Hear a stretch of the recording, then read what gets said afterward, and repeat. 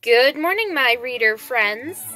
The other day, I was helping my mom bring a few heavy packages to her workplace, and as a thank you, she took me to the bookstore, bought me a few books, and then she took me out to lunch. Thank you so much, Mom. You are the best, and these books will be fantastic. Anyway, don't you think it's time I chat about these books a little bit? The first book that my mom got me is The Night Circus by Erin Morgenstern. This is a fiction, fantasy, romance novel, and it is such a good book.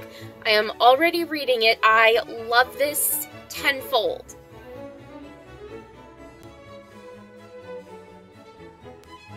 The circus arrives without warning, and no announcements precede it. It is just simply there when yesterday it was not. Within the tents is a unique experience of amazement called Le Cirque des Rêves, which is only open at night. Why is that? Anyway, behind the scenes, a fierce competition is underway with a duel between two young magicians, Celia and Marco, who have been training since childhood for this very night.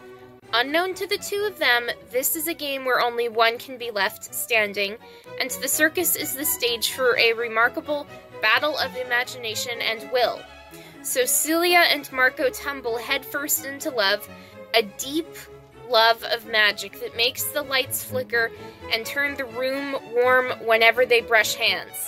True love or not, this is a game that must be played, so who will win?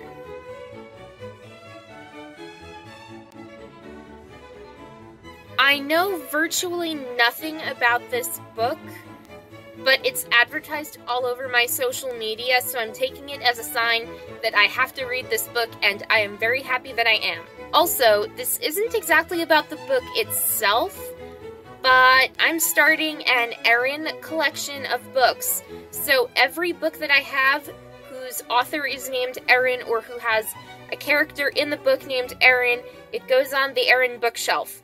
And on that bookshelf so far, I have The Night Circus by Erin Morgenstern. The author is named Erin. I have the Vegas Vampire series by Erin McCarthy. The author is named Erin. And To Catch a Killer by Sheryl Scarborough. That book also has a character named Erin. And this book is my favorite on the Erin Collection bookshelf. The next book that my mom got me at the bookstore is This Is Not a Ghost Story by Andrea Portes. This is a young adult fiction horror novel, and I am definitely going to read this right after the night circus. I can't wait to get around to it because I have been looking for a really good ghost story like this book, even though this is not a ghost story.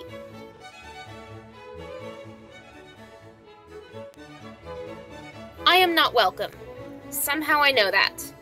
Something doesn't want me here, but what could it be?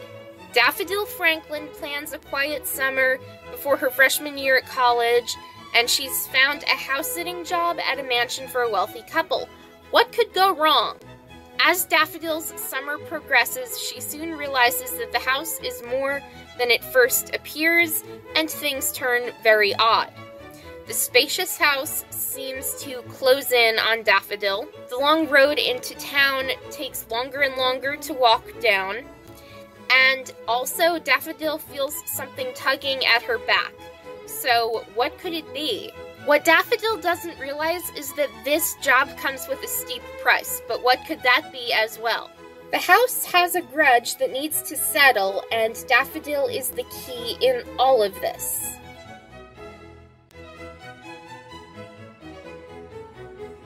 Again, I know nothing about this book, but that doesn't mean I don't want to find out, which I do, because this book has been on my radar for a few weeks now, so I'm so happy that my mom got this for me.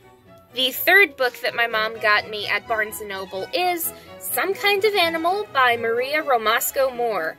This is a young adult fiction contemporary mystery thriller novel, and I am already very intrigued with this, even though I have not started reading it just yet.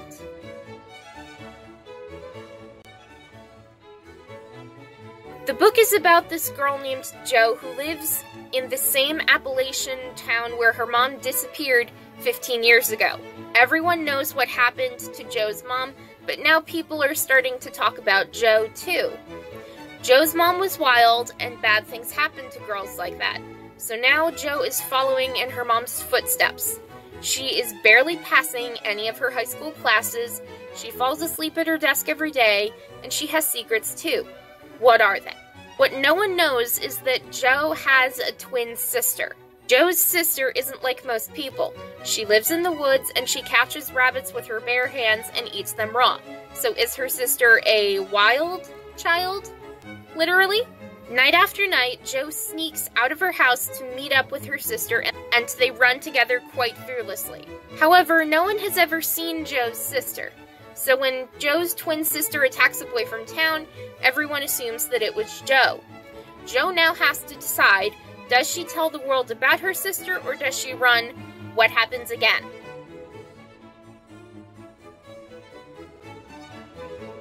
On another note, it's said that this book is like Wilder Girls and Sadie, so I think I'll be reading this. And when it comes to realistic fiction novels, I like reading books with settings of real places that I have been. So, since this book takes place on the Appalachian Trail, and since I hike there all the time, I'd wanted to read this book since it was released. And lastly, but certainly not the least, the final book that my mom got me is Cemetery Girl by David Bell. This is a fiction mystery thriller and it is contemporary, so it does take place during modern era, so I am very intrigued with this.